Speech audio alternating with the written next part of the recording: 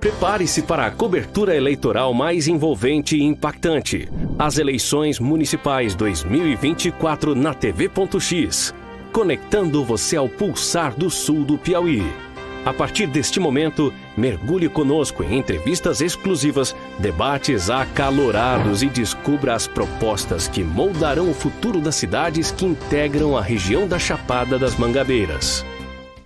Doutor Alcindo, vamos falar agora da aprovação das contas do prefeito Nestor Elvas, referente ao exercício de 2022, né? Contas do prefeito atual gestor de Bom Jesus em relação a 2022 aprovadas. Doutor Alcindo, eu pergunto para o senhor, é dever cumprido?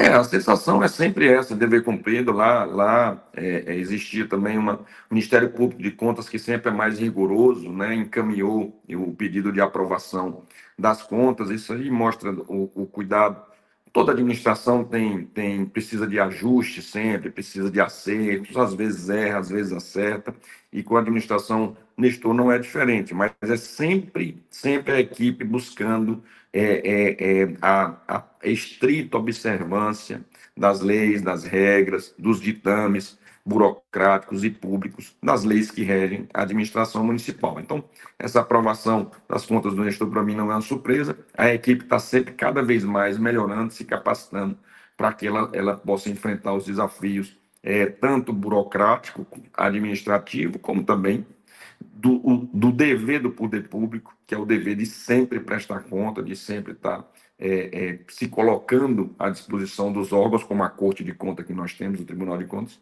é, para ser apreciadas suas ações. É, é, uma, é uma, uma, uma vitória pessoal do Nestor, é uma, é uma satisfação pessoal dele, mas também de toda a sua equipe, né? ele administra junto com a equipe, e eu parabenizo ele por essa, por, por, mais essa aprovação. 2021 foi aprovado, 2022 também agora, dessa vez com aprovação inclusive do Ministério Público de Contas.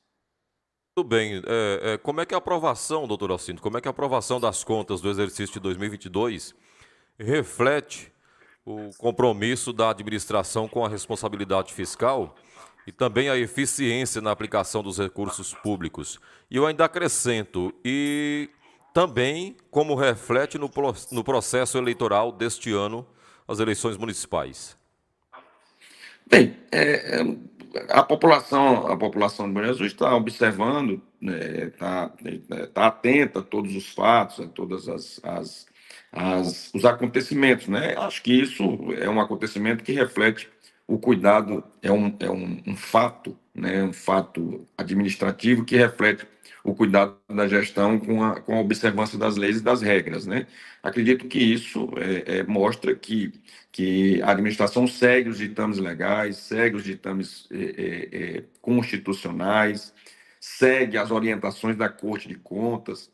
É, eu noto que a, a, a, a, equipe da prefeitura sempre busca o Tribunal de Contas, a Corte de Contas, de forma pedagógica, para aprender, para saber é as, quais são as orientações mais novas, quais são as recomendações. Eu vejo muito a, a equipe da Prefeitura de Bom Jesus, a equipe administrativa, sempre procurando a Corte de Contas, né, que é o Tribunal de Contas, o TCE, em busca de novas orientações de como seguir. E eu acho que é assim que tem que ser. Inclusive, já, já tem duas vezes que uma equipe do TCE vem à Prefeitura de Bom Jesus e sai com excelente impressão, sai parabenizando, inclusive, todos os, os, todas a, os processos administrativos implantados na gestão. Claro que precisa sempre melhorar, claro que precisa sempre aperfeiçoar. Mas o que tem sido construído, tem sido construído e refletido é, é, é, com bons reflexos. E os, isso é um sinal, a aprovação dessas contas inclusive com o Ministério Público pedindo aprovação, é um sinal da, da boa observância, do bom segmento das leis e das regras da administração pública.